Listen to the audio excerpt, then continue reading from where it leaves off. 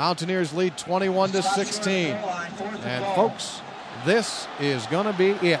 13th play of the drive. Will it be lucky or unlucky? Number 13 for the Hokies. Fourth down and goal. About eight inches away from the goal line. Randall is under his center. Power I formation. Randall barking signals. Hands the ball up. Suggs is stopped short. West Virginia gets the football. That was Grant Wiley. Grant Wiley stopped Lee Suggs with 3.51 to go. And there is pandemonium on the Mountaineers sideline as the West Virginia defense has held Virginia Tech taking the ball over on downs inside the one yard line. They've got the ball to the 11 yard line. They're definitely in field goal range here. It's second down and 10. Again, out of the gun with two receivers to each side. And Randall takes the snap. Dropping back to throw, looking for Wilford, looks to his left, still running back there, plenty of time, and now the clock down to 15. He throws in the end zone. It's intercepted by Brian King.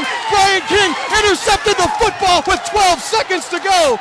Brian King has intercepted the football in the end zone with 12 seconds to go, and the West Virginia Mountaineers are 12 seconds away from knocking off number 12, Virginia Tech.